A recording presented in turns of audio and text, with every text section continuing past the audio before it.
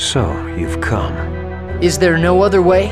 Are you still thinking like that? You'll die if you fight me with any doubt left in your heart. If you want the pact with Origin, then you must defeat me.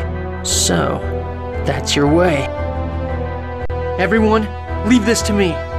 You're going to fight alone? You better prepare yourself. Lloyd possesses more strength than you imagine. He's not the same Lloyd you knew back when you were with us. But you already know that, don't you? You see his potential. Get ready! I'm not gonna hold back this time. I know. I won't either.